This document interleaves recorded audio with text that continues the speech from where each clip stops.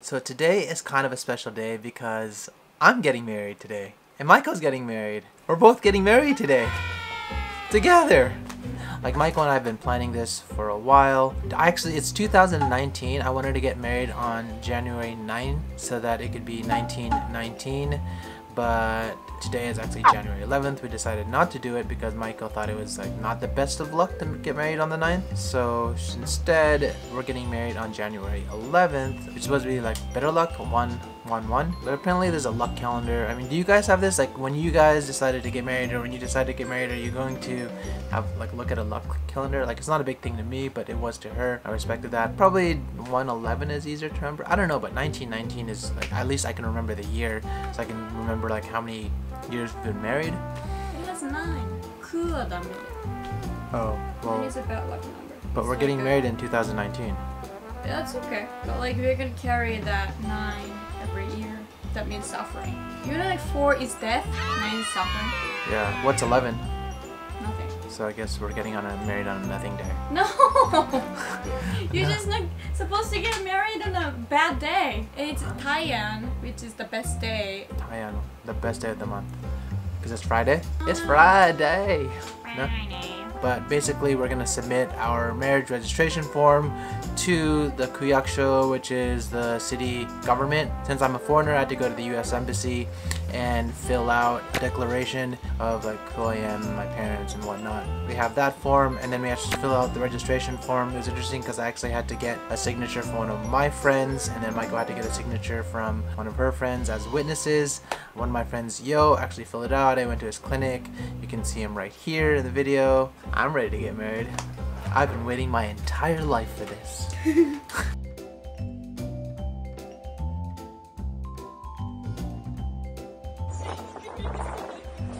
So a slight problem, we forgot to sign the document. Maiko is signing it right now. はい、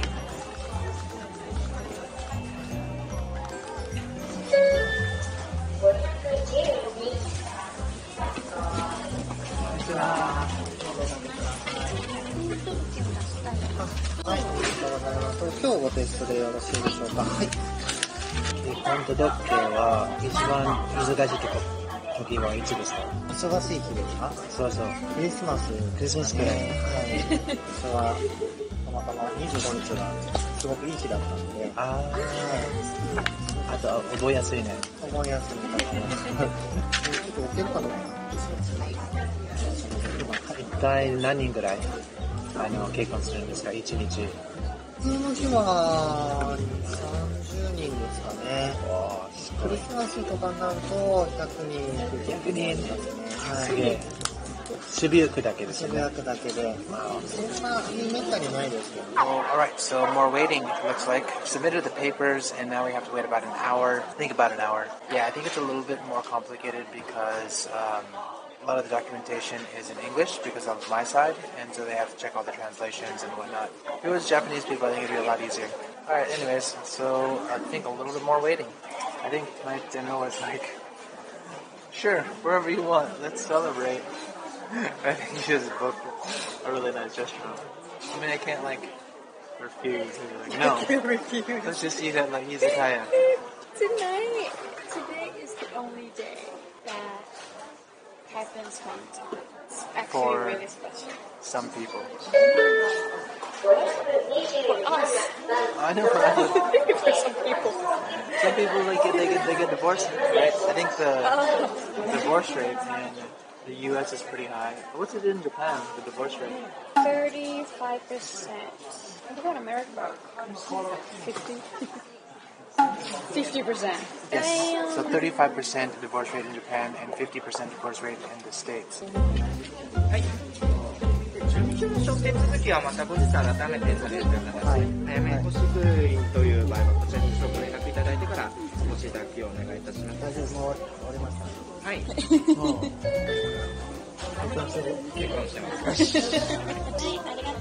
はい、ではおめでとうございました。ありがとうございます。はい。That's it. We're done. We're married. All right, guys. So we're married. It's just easy as that. All right. So just got married. Um, actually, you know what, Maiko, can you like join this?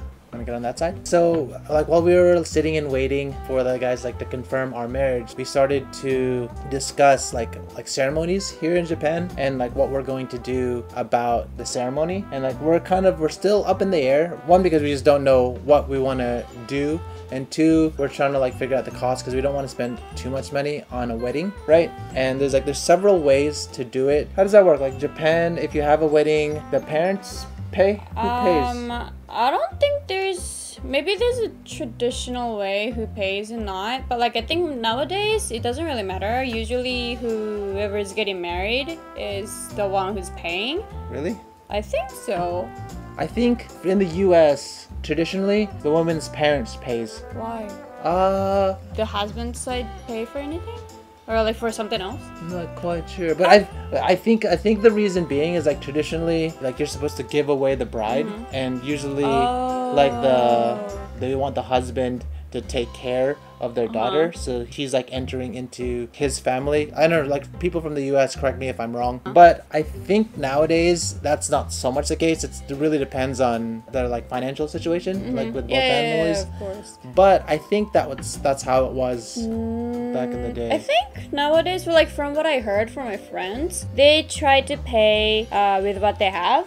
Uh-huh. But their parents support if they ask or something. So Yeah. I, I think it really depends on the cases. Maybe like my friends are not really traditional. Yeah, I'm not quite sure. Weddings are just really expensive in general, and I think we're both in the same mindset. If we're gonna spend that much money for a wedding, we'd rather just like go on a vacation and like use that money to to buy a house or I feel like even let's say we're just gonna do like a honeymoon, like spend that wedding money to go to the honeymoon, it's still not gonna be amount for wedding. Uh, Yeah. how to say like wedding? Like let's say like wedding would probably cost like 3 million yen.